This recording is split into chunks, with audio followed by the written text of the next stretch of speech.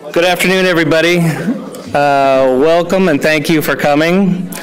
Uh, my name is David Lesher. I'm the editor and CEO of Cal Matters. Uh, we are a nonprofit, nonpartisan news organization that was launched about three years ago in Sacramento. Our work is shared with media throughout California and it is intended to raise awareness about state policy issues and make the process more transparent and accountable. So a couple of thank yous. Uh, I certainly want to thank our panelists for joining us in this discussion today. I want to thank our sponsor, Edison International, for helping us make this possible. And uh, we have many Cal Matters staff here that I'd love to just, uh, if you could wave your hands, uh, Barandan Video and Priyanka and Trevor, our social media editor, and Elizabeth and Marsha Parker, our COO and uh, publisher. And of course, I'll introduce Julie here in a minute. And I think there's a couple others here too. Oh, Naz, of course. Naz out at the desk. So, so uh, quite a Cal Matters team here. Um, we are very glad to be at the Global Climate Action Summit. Uh, climate policy has clearly been one of California's most impressive modern success stories. A goal was identified. I was covering uh, Sacramento for the LA Times when Senator uh, Pavley's AB 32 was passed. So um, a goal was identified, a consensus was reached, policy was implemented, and an ambitious goal was achieved. So now we have new goals. So as California hosts the world today, today's event is intended to hear from some of the Californians most involved in this policy and what this state has done and why it should be a model for the world. So let me introduce our moderator, who will introduce our panelists. Julie Cart is a, a rock star in environmental journalism in California. uh, she covered the environment for Cal Matters for the past two years, focusing especially on the state's climate policies. Um, and she went with Governor Brown uh, last November to Bonn to the United Nations Climate Conference and uh, did coverage from there. Um, as she was at the previous to that, we took her from the Los Angeles Times, my alma mater as well, uh, where Julie worked worked for more than three decades, uh, including work as an environmental writer and a winner of the 2009 Pulitzer Prize for Environmental Reporting. So. So we're glad to have her, Cal Matters, and you're going to love uh, hearing her on this panel. So please welcome Julie Cart. Uh, if I do things right, you won't be hearing me on the panel. So let's hope that's, that's the way it works. Thank you all for being here for a, a little nonprofit like Cal Matters, this is a big deal. So um, you, you become big deals to us. So thank you so much. Um, could not be more delighted that these folks are here, that you'll be hearing from. Is, is I'm sorry, does that mean speak more loudly or? Okay, I, I am such a big mouth. I'm kind of conscious of not being a bigger mouth. But very, very pleased to have these panelists here. These, these are folks who know these topics inside out and come from discrete parts of the environmental world, and, and uh, it's, it's so useful.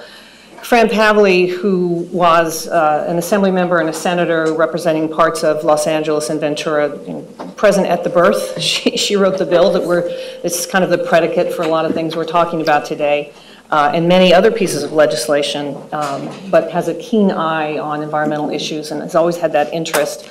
Michael Shaw, who's the vice president at the California Manufacturers and Technology Association, who represents manufacturing interests in Sacramento, and um, he's a steady and very incisive presence around the legislature who makes sure that, that, that those views get heard. Um, uh, and uh, obviously very important. And John White is the executive director of the Center for Energy Efficiency and Renewable Technologies. And I think of him as um, California's environmental diplomat. He has a knack for being able to find common ground between sometimes warring factions. And, and um, I, am not going to say you're calm, but, but he's a reasonable guy. Um, Fran and I were on the same flight up here yesterday and started chatting about uh, the speed at which climate policy is changing. Uh, and you get whiplash trying to follow both state and certainly federal policy. Um, and that's kind of what we want to do here today is to trace um, where California has been and looking at the innovations that are so admired um, across the country and the world. Um, energy efficiency, automobile emission standards, and a carbon trading market, cap and trade. We also want to look and and acknowledge um, missteps, and depending on your point of view, it could be all three of those things I just mentioned, or aspects of them. Um, We want to look forward um, without spending too much time looking back at, at what we, uh, I think all agree is, will be a very challenging future. Um, And we hope to have a candid, informative, and provocative discussion, uh, and a civil one, which would be a change. Um, And our panelists are very interested and looking forward to your questions at the end, uh, which we find much more interesting than the dribble I can come up with, which is here. Um, So we will launch. Um, we are at an international climate change summit uh, where California and its governor is being held up as a model for progressive action, you know, the the victory lap for Governor Brown. Um, Fran, is California a model? I mean, is- do you think that this is appropriate, that California is held up as, as uh, the arbiter of uh, climate taste and that we've done things right? Well, You're probably asking the wrong I know. person. Uh, So I'll start with yes, but let me share with you why, I- maybe why I think that. Um, It's not so much about the details in our policies, but California is just in such a unique place with 40 million people and the purchasing power and uh, the ability to, when we pass these bills, create a market for investment and innovation in this state.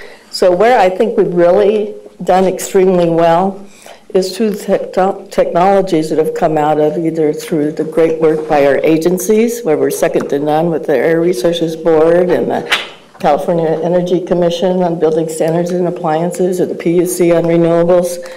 But the technologies that have come from California that made a difference around the world are probably just as important as some of the policies. And uh, what's been a surprise to me, I started on this environmental journey, is that California has really created these markets for businesses and jobs to locate here for a 21st century economy. I'll give you a short story. I sat next to it, an air pollution conference, uh, engineer from China. And I said, "Oh, why are you here?" And I he said, "We follow what your Air Resources Board does. We come over here. We wouldn't have catalytic converters in our cars in China today if it wasn't for California." So I think those kinds of stories, uh, to me, is one of the real models there. We can tweak, obviously, our policies and make sure that they change with the times and reflect cir- particular circumstances, but uh, California should lead, and that's because of the investment and innovation in this new clean future. Yeah. Michael, we'll get into details um, about policies that, that some of us like and some don't, but, you know, as writ large, do you think California is a model?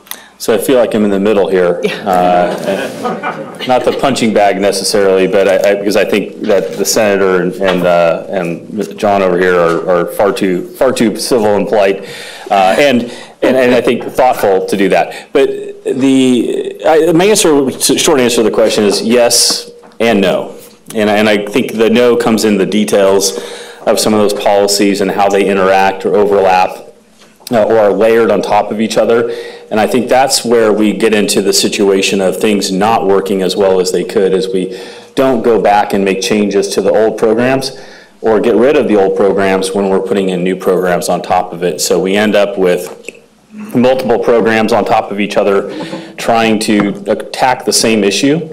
Uh, And in the same respect, we try and make things like the cap and trade program uh, or global, or climate policy in general, try and tackle other environmental issues. And that is a challenge that we face because when we set a program to address one specific goal, a target, then we try and, on the back end, through the details of the policy, force it to do a bunch of other things. That becomes problematic.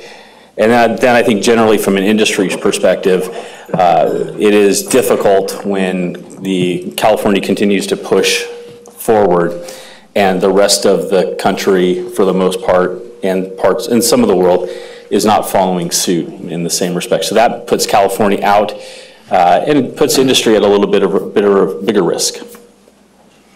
John? You'd be on the optimistic side? Well, actually, I, I, I tend to think that Michael's right in the sense that um, we don't do enough recalibrating um, when we have made an effort and then achieved the result. We don't necessarily go back and, and adjust. And, and I think it's important what Fran said earlier, the, the, the beginning of our leadership uh, on these issues goes back many years. I want to shout out to my friend Bill Simmons, who's a former executive officer of the California Air Resources Board in the 70s, when we did some of the most important vehicle emissions work in the Major Wilson administration. We did some important work on fuels. The ZEV mandate was actually adopted in 1990 under George McMajan, excuse me, uh, George Deukmejian's Air Resources Board. So, so the leadership comes from our air pollution experience. And I think to some extent, there is a little bit of uh, falling in love with the carbon mission, when in fact, the carbon mission is only one part of the strategy. That in the end, we need across the board action to reduce not just carbon, but also oxides of nitrogen, particulates, air pollution, methane. One of the most disturbing things this week was that President Trump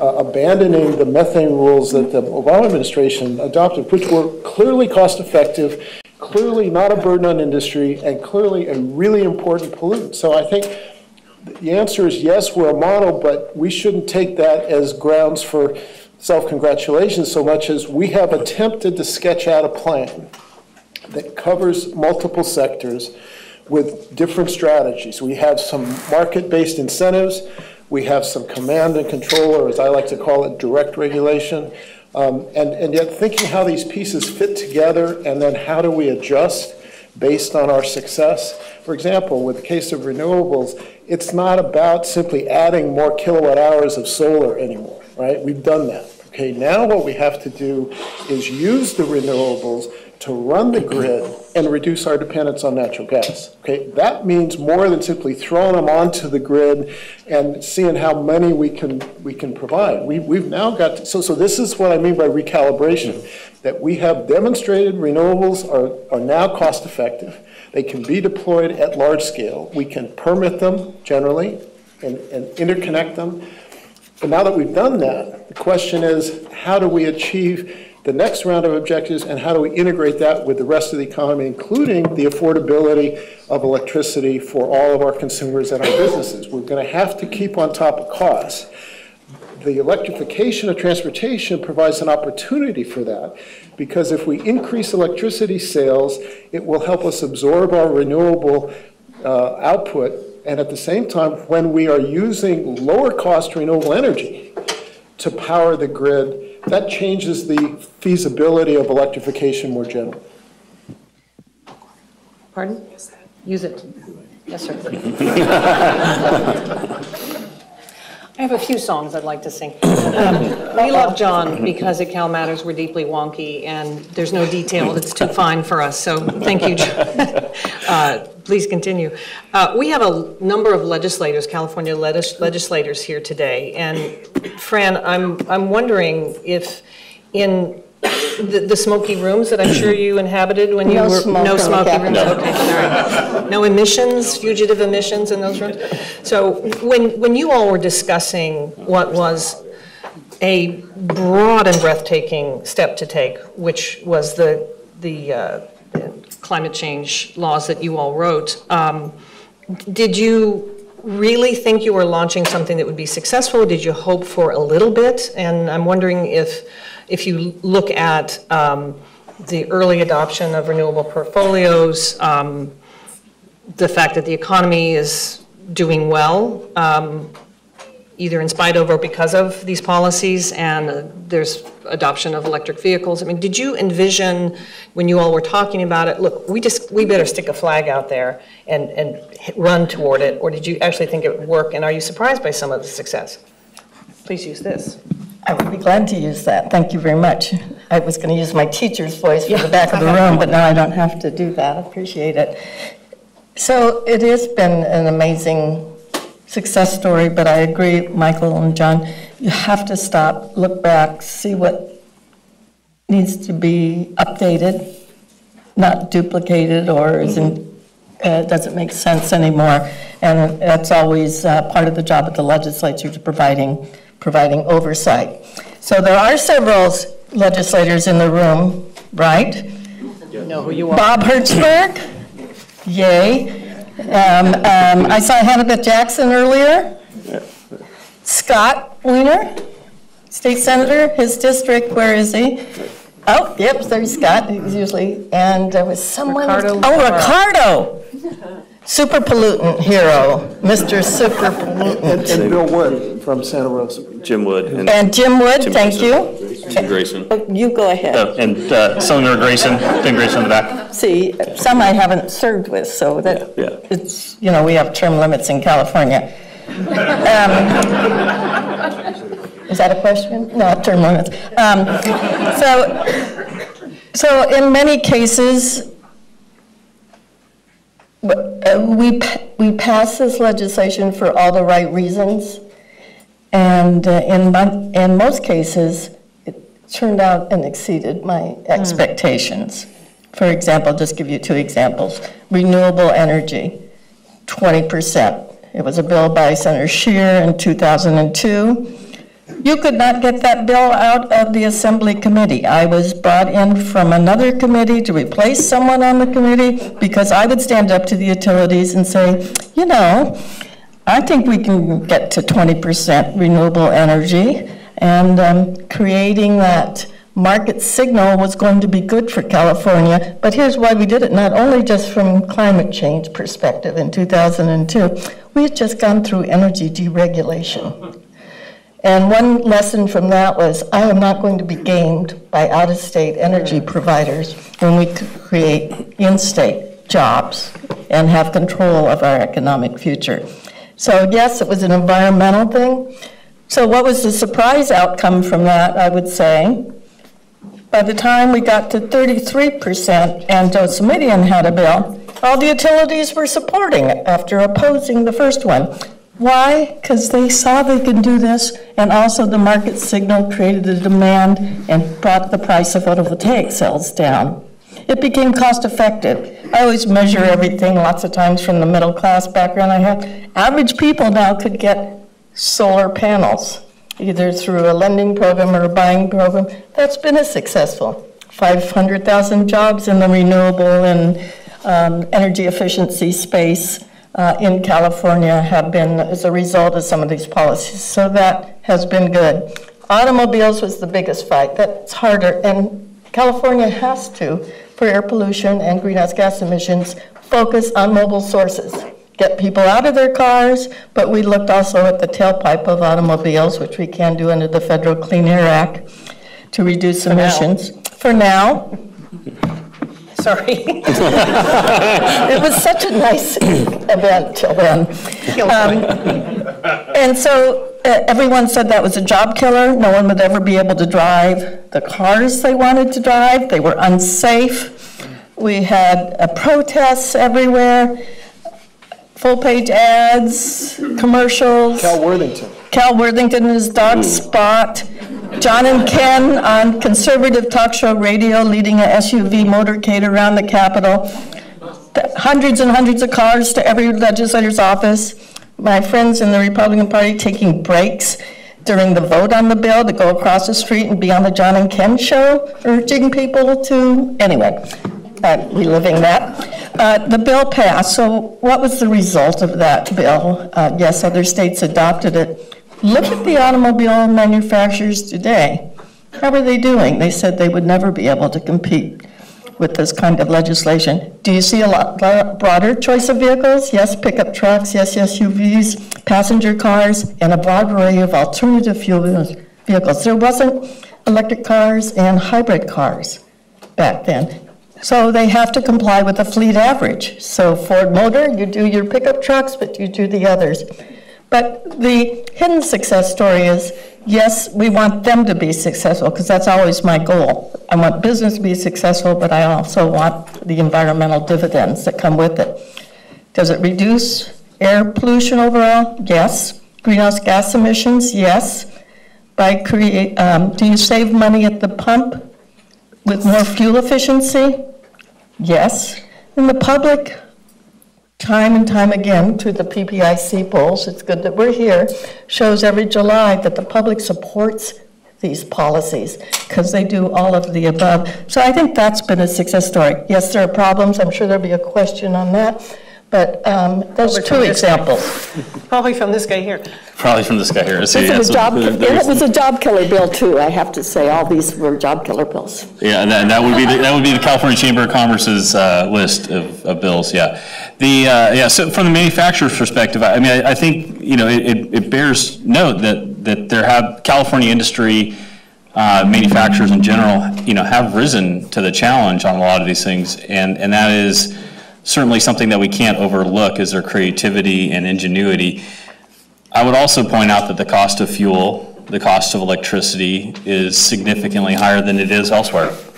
You know, for manufacturers, we're paying 86% higher for electricity prices than the national average. We're paying double what our neighboring states, what our, ma- our manufacturers in neighboring states would be paying for electricity. And so while we're forced to be, uh, to to be creative and to to seek out greater levels of efficiency, at some point, that investment in getting those greater levels of efficiency becomes in and of itself a challenge and a disincentive to invest in California.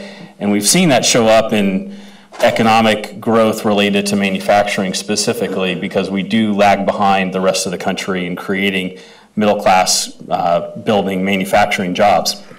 So there are challenges, you know, that, that do come from that. And it's not to say that we don't pursue some of those things, uh, some of those policies that, the good senator has pointed out.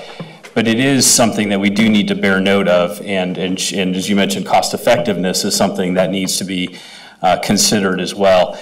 What, what, at what cost do these goals come? And uh, as I think John mentioned earlier, um, in kind of reiterating, I think, a theme here, is we need to go back and recalibrate and take a look at what we've done and determine whether or not that continues to make sense to do. Because if, what happens when we layer programs on top of programs is we get, we're, we're trying to hit the same thing several times over, and that just makes that particular element more expensive. We have also seen that a lot of the manufacturing of these, you know, photovoltaic cells and other technologies is occurring, but it's occurring in other states, in other countries. We do a lot of research and development in California, and we get a lot of those science and technology jobs, the, the high-paying jobs up there the six-figure plus range that require advanced degrees. We've also grown, seen a lot of growth in the low end into the service sector, uh, where the wages and benefits are not as great, and we're seeing a hollowing out in the middle. And so when we look at these policies, we need to be looking at, I think, as, as the senator mentioned, middle-class, you know, upbringing, we need to be looking at the middle and saying, how is this affecting those folks? And you mentioned that you do that. But the cost of those goods related to these policies is something that we, it does impact those people, does impact their economic uh, prospects in the future. And that is something that we are primarily focused on. Does that mean, again, we don't do anything? No, but it means that we have to consider those impacts. We need to find ways to make sure that manufacturers can grow here. Because if we're doing it here, as Next 10, you know, ha- has continually found in their reports looking at California's green and energy efficiency, California is very green, is very energy efficient, so that's something that we should pursue and promote. We need to get that manufacturing happening here and not happening elsewhere, because then we get the bang, double the bang for the buck on the environmental aspects of the policy, but we also get the economic benefits that go along with that. And so I think I went a little bit further afield, but uh, wanted to make sure we got the broad perspective on that. Uh, Picking up on that point, I think one of the areas that we need to recalibrate uh, in our policies is, is how valuable energy efficiency actually is. One of the things that we've seen in our regulatory process is a tendency to sometimes micromanage the programs. I- Senator Hertzberg had a bill where basically said that the PUC couldn't second-guess uh, after they had approved a, a, a commercial energy efficiency project, uh, and say, well, no, it, it costs more and it's worth less, and so we're gonna change our mind. And so, so, so when we're getting people to do the things we want, we have to understand the importance of certainty. The other thing I think is, as the grid is now changing, we're seeing the economics of electricity are changing. So suddenly, in the middle of the day, we have a surplus and an abundance, and we're now talking about matinee prices to encourage people, like going to the movies on the afternoon, encourage people to preheat, pre-cool uh, use their energy. The other area that's very important is demand response, because when we have this uh, abundance of electricity in the middle of the day, we need to move the consumption closer to that generation, and then at the same time, try to move people off the grid when the sun goes down and the price of energy goes back up. This is where storage becomes important, and not just batteries. We need to look at all forms of storage, large scale, long duration. And these are things where I think we can maybe cushion the blow and make things work more affordably for our manufacturers at the same time while staying on track to meet our goals. So, I, so this is an example of where I think, uh, for example, at the PUC, the value of energy efficiency now, when we're talking about avoiding uh, uh, natural gas consumption from Aliso Canyon, that's, it's, it's worth buying and paying more. And yet the, the PUC stuff has this opinion of, well, we know what cost effectiveness is and, and this isn't it. And this is why you get second guessing when the business community, look at the business community is investing in a project because it's more efficient. I think we got to be careful not to second guess them and say, well, you know, it's really not efficient enough or it does, it's not cost effective enough after they've already made the investment. That's the kind of thing that drives people crazy and makes us look silly in terms of us being a place to do business. And just really quickly to read, John said, uh, we hope Governor uh, Brown signs uh, Senator Hertzberg's bill on energy efficiency projects for commercial industrial folks because it will make a big difference in that certainty aspect. I asked Julie if it was okay if I jump back in here, because sometimes it's hard to go first. Sometimes. Um, I, I always think about, um, why are we here this week? What's the cost of doing nothing? We can find tweaks we need to make. Yes, we need to do this better, but frankly, we need to double down on what we're doing and reducing greenhouse gas emissions, and we need all Californians to step up into the plate to their communities, their businesses, your homes, and figure out collectively what we can do. Um, it, it's not a theoretical discussion anymore. We have to be smart, but there needs to be a sense of urgency. So one thing I always reflected on, what is the cost of doing nothing? let's just forget all this. The cost of doing nothing. Do, do we like the way the climate's going and everything's going um, around our country and around the world? Scares me. I, these uh, impacts of climate change, I didn't think I'd see in my lifetime. In 2001, we had UCS reports, we did hearings everywhere, oh, about wildfires and volatility of snowpack, and the list goes on and on. Whatever was in that report in 2000, it's triple that, the impacts now. So I feel a sense of urgency, and it's a collective responsibility, and I want to hear from all sectors, business sector, what they can do, given the realities, and I appreciate, the bottom line and everything. But one reason, for example, um, cost of fuel so high, because every time we do anything on cars, it's, you're just increasing gas prices. I don't know about you, but I've seen gas prices where I live within 20 miles of each other, $1.50 apart. 4.59 a gallon, 3.25 a gallon, same chain, 76 or whatever it is. And it's really sort of a manipulation of some market signals. Yes, it's supply and demand, got it. It's some sales tax, that like 5% of the total is from the gas price increase, but you would think all of it was from the gas price increase. It's some on fuel blends, so we don't have as much smog in the air. But a lot of it is manipulation in the marketplace when you see that huge discrepancy. Why is it a dollar and a half cheaper in Sacramento than LA? No real reason. It's, it's sort of uh, a, a free economy market system. You, if whatever you can sell, you can sell at any price, and people will buy it. So we need to create some competition in the fuel sector to drive down prices, lower carbon fuels, EVs, and the list goes on. So there's no monopoly on it, and it's our number one source of greenhouse gas emissions. So I guess my comment is we have a lot of work to do, and I look forward to working with everyone from their different perspectives, but we have to do something not just undo what we've done. You know, that's a good point, Fran, because I don't hear um, your folks, Michael, saying, let's not do nothing. I mean, th- in fact, a lot of uh, response to climate change impacts is, is really uh, being propped up by the promise of technology. We're hoping that there will be these breakthroughs that, that we can rely on. So it's your guys. Um, Can you talk about, um, isn't that a business opportunity, not to be too, too cynical here, but rather than feeling like you're being lashed by the command and control whip, you, you actually are being nudged into, you, the folks you represent, are- are being nudged into an arena where there's a lot of dough to be made.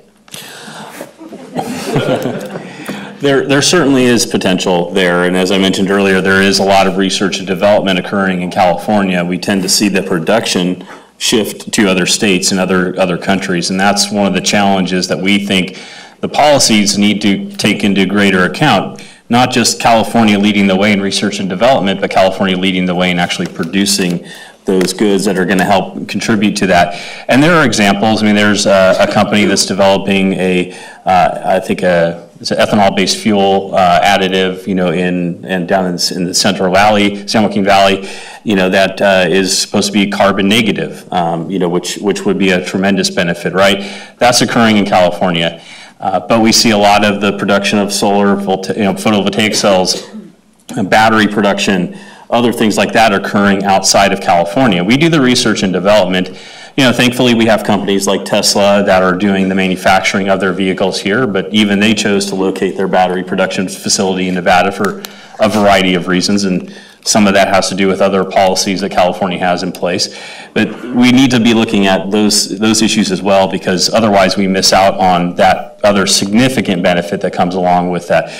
But companies are responding because they have to have, they want to have access to the market. In some cases, they need to be close to that market. In other cases, they can simply locate in another state and frankly, truck uh, or train, you know, their goods into this state or ship them overseas, you know, on a big container ship. So there's different opportunities to meet the demand in California.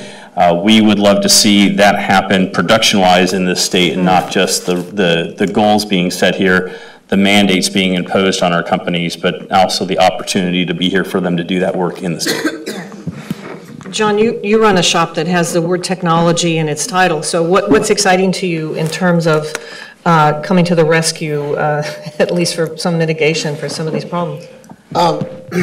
Well, I, I'm excited by the, the different combinations of technologies and practices that we can uh, avail ourselves of. Uh, uh, One of the things uh, that the, the drop in the cost of battery technology has enabled there to be new demand response programs that involve shifting customers' load to avoid demand charges and high costs in the afternoon through the deployment of a battery and, and, and an internal sort of dynamic where the customer is indifferent.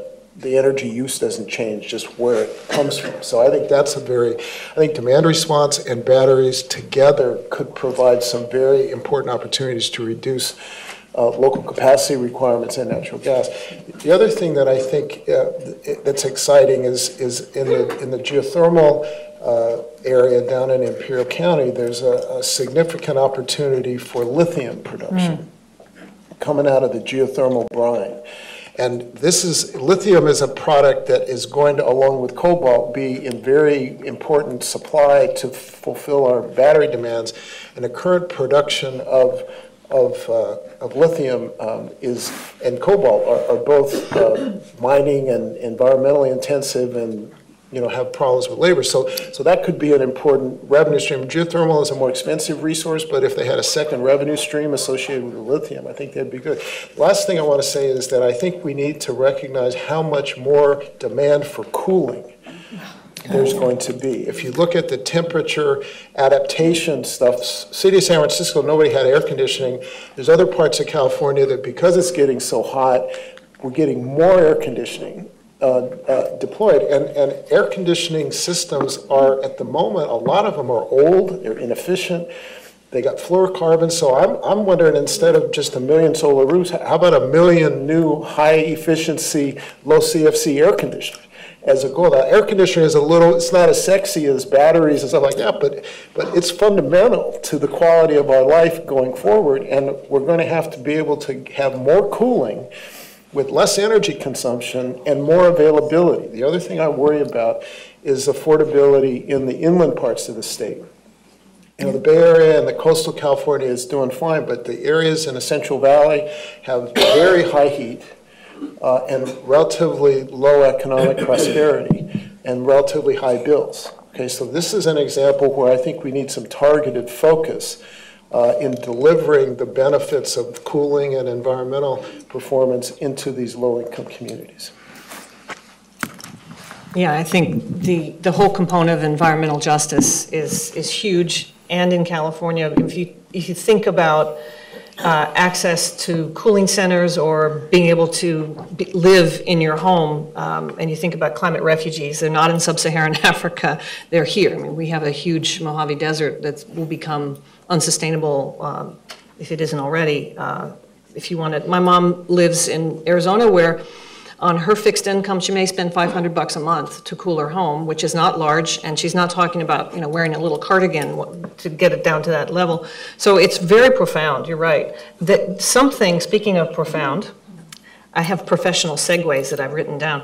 Um, yeah. Uh, lost in the announcements uh, in these last few days is something that is rather monumental. I don't know if we've all had a chance to get our minds around it, but the governor signed an executive order that requires the state to be uh, carbon neutral by 2045, which is something quite apart from 100% clean energy. This, this touches every aspect of our economy. So Michael, I'm looking at you out of the side of my eye. this is very profound. Uh, it uh, is a very profound benchmark that is inspiring, I'm sure, to many. But the, the devil in the detail aspect um, is really interesting as well. And uh, I'd, I'd love to hear what, if you've had a chance to digest it at all. It's, it's a pretty big deal. It is tremendously huge uh, because it is, as you point out, far beyond 100% renewable energy. It's frankly beyond 100% uh, reducing our or reducing our emissions by 100% below 1990 levels. We're talking about going at, to at least 100%, if not more. And you, keeping everything in, in, in perspective, California is about 1% of global emissions. We could literally shut down everything in this state, people out, animals out we wouldn't make a dent in global climate change on our own. That's part of what the conference is about this week is setting a global example. So we need to do it in a way that, that everybody can come on board with that. So setting a goal, uh, and this is, I guess, gets to a bit of the uncertainty that business feels is when is it good enough? We, we had a goal set in AB 32. Uh, we set a new goal in SB 32 you know, shortly thereafter, and are now talking about setting yet another goal. We haven't even gotten, you know, but a, a couple of years into the, the most recent goal. And we're talking about pushing beyond that, and businesses are seeing the, seeing the dollar signs just continue to just kind of go up and up and just explode here. And now we talk about 100% or more, you know, to get to carbon neutrality. Those are great goals. And while the governor's executive order lives as long as anybody wants to leave it in place, you know, I don't think the next governor, you know, if it's Governor, uh, Governor Newsom, you know, would be likely to remove that. That's a potentially very significant issue for businesses and a disincentive for locating in California because again, yet again, you can produce that good somewhere else and ship it into California. And in that case, we have shifted that production to an environment that is less concerned about the impact to global climate change, less concerned about the impact to environmental justice uh, communities, less concerned about being energy efficient. And so that's when, when industry looks at it, that's what we see, we see those things. Now, some will see an opportunity and some will locate here in California because of that, because they want to be at the epicenter of where this policy is taking place. And, and that, those, are, those are certainly some marginal benefits that can't be ignored. But I think the important thing to keep in mind is industry writ large is going to look at the cost and they're going to make decisions based on where they can get that return on investment. And if they can access the California market and produce it at a lower cost somewhere else, I think they would be foolish to, to not take advantage of that. John? Um, I think that's, that's the downside um, uh, of, of setting ambitious goal is creating more uncertainty and perceived more financial risk. But the upside is that um, one of the things that we've learned in our experience is that the technology development and economics are not fixed and finite. Things that we thought were going to end up being more expensive have turned out not to be so. So I think the key is to not just set goals, but to have pathways that we can follow. For example, implicit in the governor's goal is the importance of reducing the emissions from heating and cooling in buildings, okay? This is an opportunity for new technologies and saving of money. So I th- think when we assume that it's going to cost a ton, that's true if everything stays the same. But part of the goal of some of our policies should be twofold. One is to make the policy, the technologies that we need and are strategic affordable. And that includes financing, but it also includes getting to scale. The second thing is, uh, is, as I think Michael has suggested, is we got to get other people to follow us. Okay, we, we have got to have, um, we can't have so much complexity in our regulations and in our policies that other people uh, look at us and say, well, that's fine, but it's not, it's not going to fly here. We, we have a potential alignment on the West Coast between Oregon, Washington, Nevada, maybe even Arizona. There's a proposition on the November ballot in Arizona for 100% clean energy or something like that, and there's an initiative in Nevada. Being opposed by their Uh, So- So, utilities. so I think, you know, in transportation, buildings, and electricity, having our policies be both affordable and replicable uh, will be important in terms of not just having us act in isolation, but having us uh, have a template that, that makes sense for people to follow. And that's where we get back to having to recalibrate what we're doing in a way based on our experience, but also with a mind of creating opportunities for others to follow in our pathway and for our companies and businesses not to be islanded in a high-cost, environmentally, you know, intense place that nobody else is following and the technologies aren't being deployed in other places. Fran, could you have imagined uh, a 100% carbon neutrality bill ever getting out of uh, the legislature that you were part of? Understanding what it means, how profound it is? I would like to say it would be uh, interesting for the future legislature to put it into statute because I'm a Probably firm believer. I've gone through, uh, whether it was the tailpipe emission bill, all governors prefer things in executive orders. Sure. Because they can change them, negotiate with them, they're very fluid, right? I like putting things in statute, and most businesses say they want the certainty and they want the market signal, and they, then frankly, the legislature to get out of the way and let you go about doing your business. So that would be an interesting test on whether that, because it's so futuristic. And when I um, authored AB 32, those were Governor Schwarzenegger's midterm targets. The reduction to 1990 levels by 2020. We have met those. Those are the midterm targets. He had aspirational executive order 80% reduction by 2050 targets that he put into place. And I said, you know, I'm going to do the midterm targets because I could look with people in a straight face and see pathways to get there. Also, we had some off-ramps if the economy went south or, and also the legislature by putting it in statute, there is no law that says you can't go back and revisit a bill, not just add on, but you can change it and modify it. Um, So that's why the initiative process is dangerous. So I'm a firm believer in putting things in statute. It gives the enforceability. It sends a stronger market signal. Businesses usually agree with me on that, and that they know it's going to be in place. Um, So hopefully, uh, I think that discussion should be had, but I'm sure CARB and the CEC and PUC, they will have multiple, multiple workshop, workshops and stakeholders figuring out how do you transition there? How do you, how do you do that on top of, top of all I wonder if they would, they would label the workshop, freak out because we don't know how to do this, but, I- yeah. I, I, and, and so uh, when AB 32 was around, I didn't want to even attempt an 80%, because you can't predict what that future is like as far as how to get there. Right. But we met and exceeded those, and what, how do we get to SB 32 now? Most people will tell you, we've got to refocus on super pollutants. We've sort of been ignoring them. Whereas Ricardo Lara has left, he would like that shout out for super pollutants.